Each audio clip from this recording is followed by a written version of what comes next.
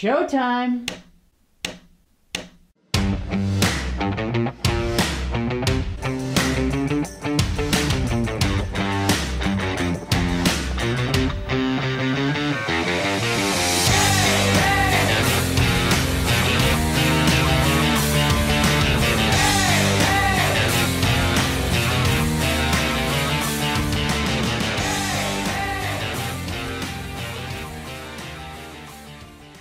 Everyone. Welcome to the Rosie and Bill Show. Our guest this week is an award winning singer who has been performing for years. And actually, it's rumored that she was born with tap shoes on.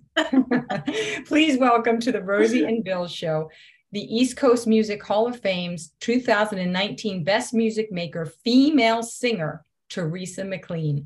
Teresa, welcome to the show. Hi, Rosie. Hi, Bill. Great to see you guys.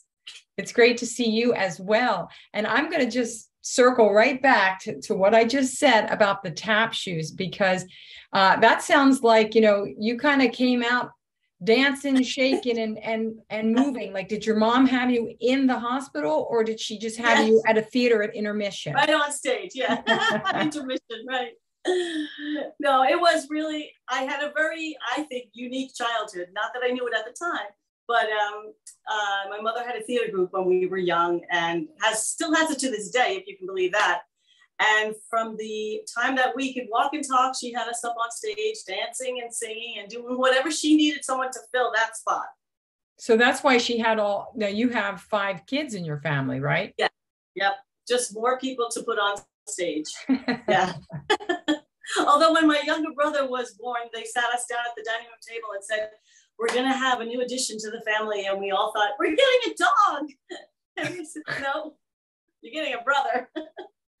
but the important thing is, is did you treat him like a dog? No, I was pretty good to him, unless those few haircuts that I gave him were a little questionable, but he wore a hat for a little while. It was all good. so you you mentioned that your family was into the performing arts because your grandfather was also uh, yeah. a musician. Is that where you fell in love with the standards? Uh, you know something, my grandfather set the whole tone, but he passed before I was born. So it trickled down to my mother. And she, of course, she loved all the American songbook, all the standards. She was a performer and still is uh, of all that beautiful music. So I got a great lesson in the music of the 30s and the 40s early on is what I knew. While everybody else was singing like rock and roll, I'm singing like Broadway show tunes and, you know, war, ta- war tunes. but uh, yeah, it was great. It was a great lesson and it was a great foundation.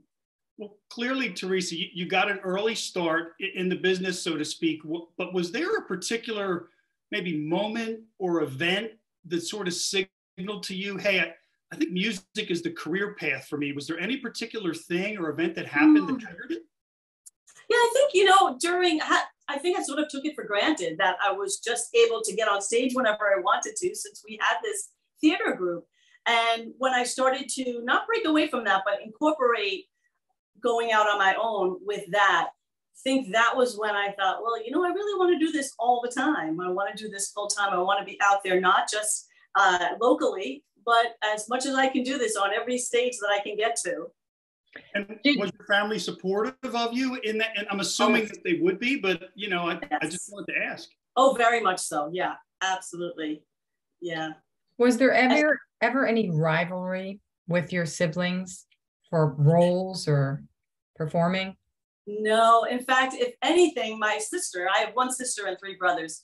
My sister just we did a show together one time and we were doing a duet and she walked off stage and she says, oh, I never want to do that again. she was so nervous being out there. And um, I don't know if you know this, but like I am ready to get out there. I'm not nervous out there. I want to be out there. Give me more people. And she was just completely the opposite. She didn't want any of it. But she has a beautiful voice, so we always try and encourage her to sing.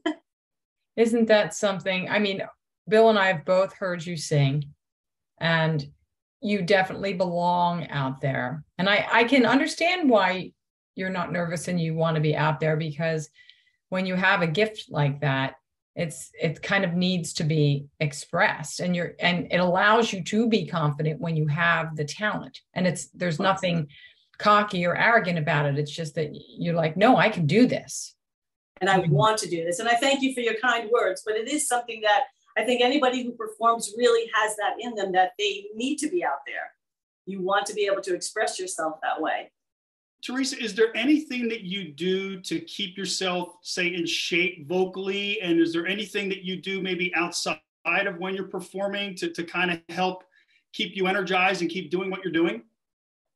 Well, I would love to say that I vocalize every day and I'm always working at it, but I have to say I'm probably not the best at that. Um, I will, you know, right before a show, the few days before that, I'll probably do a little bit more vocalizing. Um, and really just kind of watching other people. You know, you learn so much when you watch other performers. Uh, we have this gift of YouTube at this point where you can just watch every concert imaginable. And I learned so much from watching other artists. Did you study voice though growing up at all? No, uh, my mother really just kind of would coach us in, in a way, but uh, her whole side of the family they were all musicians. So it's kind of just innate, which is really wonderful because like Sunday afternoons, all the family would come over and we would just sing for hours. We'd have dinner and then go sing. Did you think that you were different from other people or that everyone did that? At the time, I thought everybody did that. You have dinner and then you go into the living room and you sit at the piano and everybody sings and plays. That's it. But um, yeah, later on, I kind of found out that it doesn't happen all the time. Do you play an instrument, Teresa? Uh, just for myself. I play piano. I kind of tried at the guitar for a while. Um, I don't. I didn't study. I play by ear, so I. It's helpful, like with rehearsals and stuff like that. But I wouldn't go out at this point and play in front of other people. I'm I'm asking because growing up in my family, my brother played the piano, and we would have our friends would come over and Oh. you know sometimes he would sing and my parents would sing or my aunts and uncles would be over and you know we would we would have a lot of fun doing that and i wondered if your house kind of was also the house where everybody kind of gathered for the the party like atmosphere of music yeah um, you know certainly within the family but um you know mom was playing music of the 30s and 40s and 50s and my friends had nothing to do with that whatsoever. they were not interested in doing show tunes or anything like that. So, um, no, I can't say that happened with friends, but definitely with family. Yeah, it's a very musical house and it's a musical setting. And in fact, we're doing a family vacation coming up, and there's always one night built in where, like, the family that we're like uh, close to up in Massachusetts, everyone comes around and we do a musical extravaganza so everyone sings and it's just great. You really can't say no to my mother. If she starts to play something, everyone has to sing. well, I, I could think of worse things to do than to have oh, yeah. Sing. Absolutely. yeah. yeah. My brother tried to do that and he with the Christmas carols, he makes he makes everyone carol on Christmas oh. Day. And yeah, most people enjoy it, but there are some people who really don't they're very shy and mm-hmm. it's a mm-hmm. little traumatic for them. yes. I know we just kind of assume everybody likes to sing, but that's definitely not the case. You're right. Well, and some people like to, but maybe they shouldn't. So there's that too. yeah. So Teresa, true.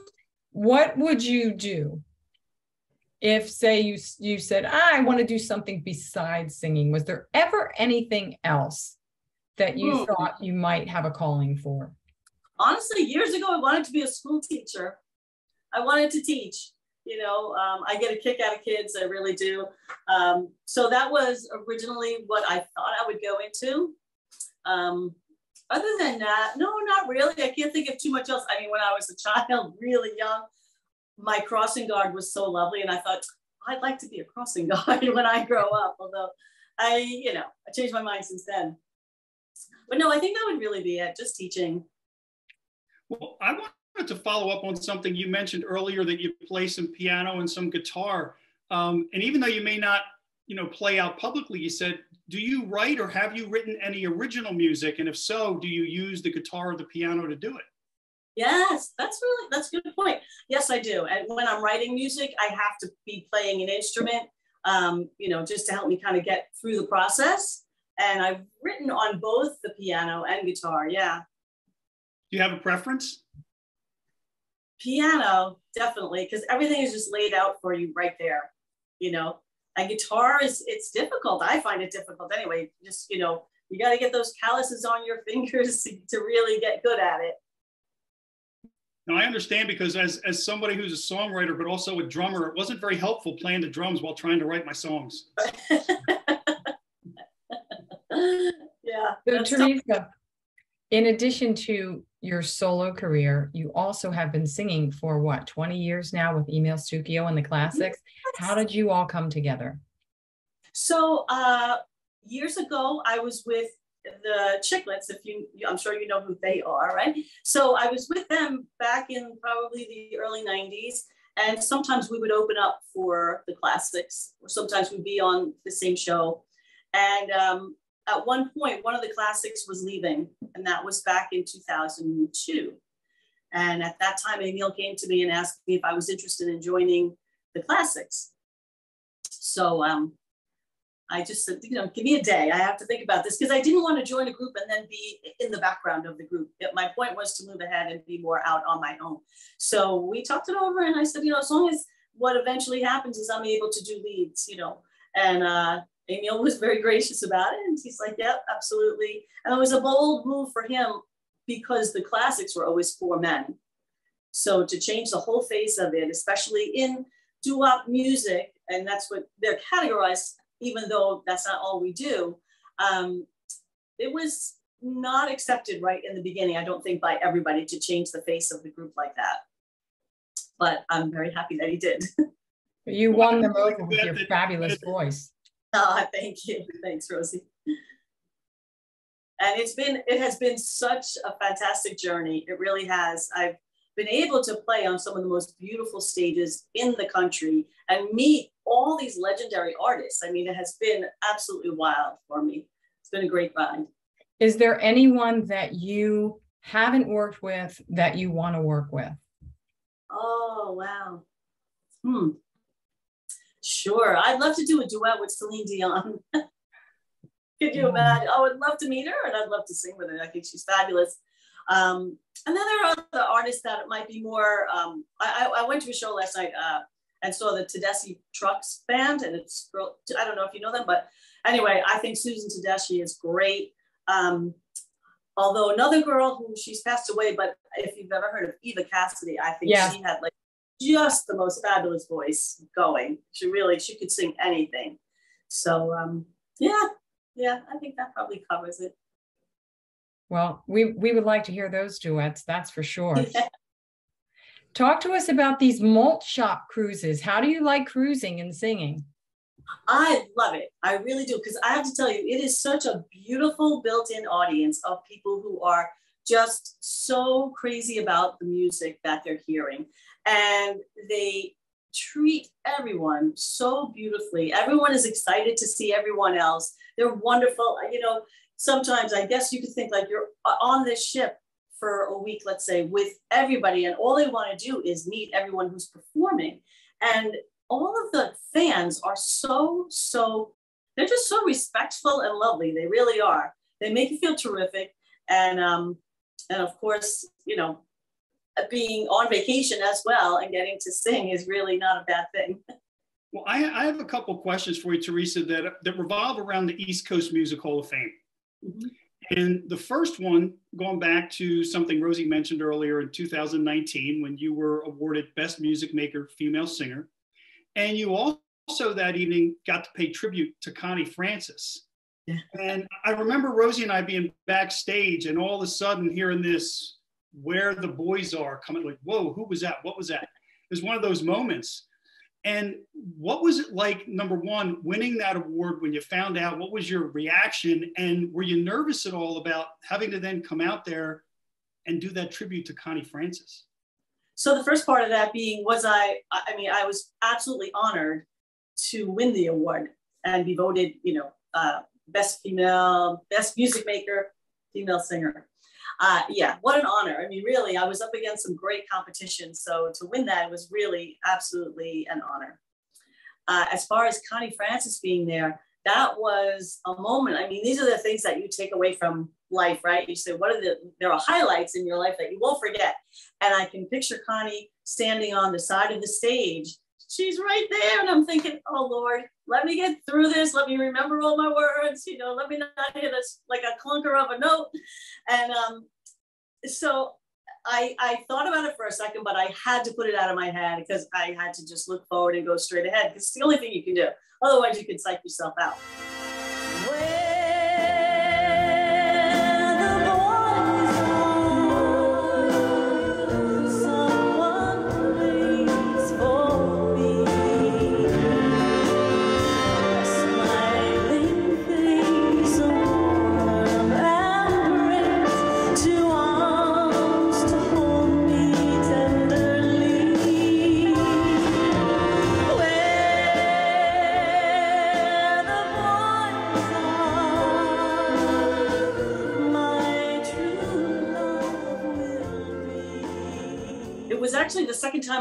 Sing that song in front of her. Uh, previous time we had been down at um, the Hard Rock Cafe in Hollywood, Florida, and we were paying tribute to Neil Sedaka. And the, as the classics, we were asked to sing a few songs that Neil had written or written and recorded. So Neil Sedaka is sitting in the front, and Connie Francis is next to him. So I think that might have even been worse as far as what do you have to deal with here? so I'm saying, okay, well, they're just people. I'm just going to sing a song. Forget about whether they wrote it or not, or they recorded it, you know. So, um, but yeah, so two very, very, very thrilling moments. Did you speak with them afterwards? Because I imagine they would have been very complimentary to the way you presented the song. Yes, Connie Francis was really funny. You know, she we talked afterwards. We had like a meet and greet afterwards, and she just said, "Okay, so don't sing that song again." That's all she said, but jokingly, she was just kidding. really very, very gracious about it. She was sweet. And uh, Neil Sedaka, he was lovely too. He it was so nice because they didn't just run off after the ceremony. You know, they we just kind of hung out and talked, and he he complimented the whole group on what a job we did. And um, at that night, Emil had sung "Hungry Years." I don't know if you know that song, but ah, that yes, like just the most beautiful. And he did a beautiful job on it, Emil, to the point where Neil Sedaka is sitting there, and I see tears coming down his face. and saying, Lord, I can't look at you. I'm just going to have to look somewhere else because it was really moving, really, really moving. So, again, one of those great highlight moments. That sure is. Yes. And Teresa, there was another highlight moment, at least I think for the people in the audience this June at the East Coast Music Hall of Fame, the 2022 gala, when you came out and paid tribute to Dionne Warwick. And I, the song that you performed, I know I'll never love this way again. You you blew the roof off of Harrah's Casino, and it was, it was just absolutely amazing. So I have to ask, is that a song that's been in your repertoire for a while, or did you perform it for the first time or second time just that night? Uh, I think I had performed it maybe like two or three times before. It was hasn't been in my repertoire for that long, but um, it is what a song to sing. I was so fortunate that I was able to perform it that night. Like that was the song I was given to sing. So I am really blessed in that department because that was a spectacular song. You know, you can really, really dig into that and really put your heart and soul into it.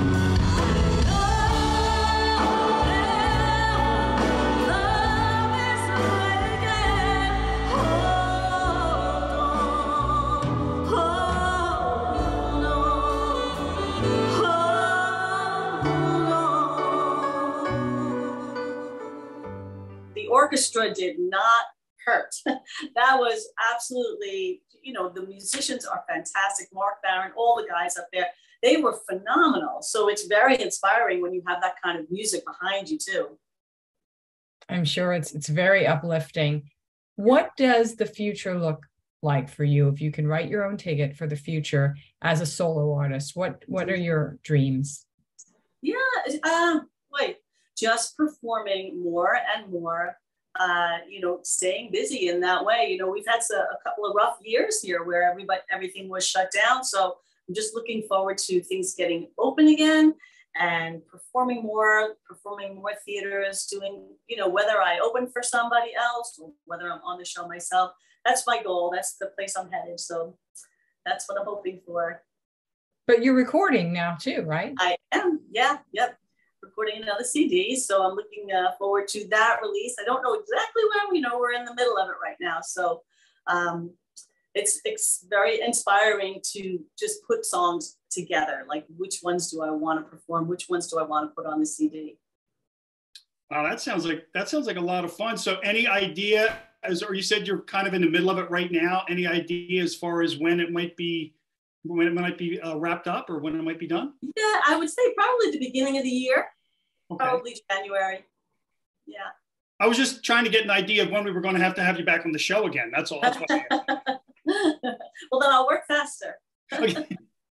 Teresa, do you ever perform with your mom anymore? Do you ever invite her up to sing with you?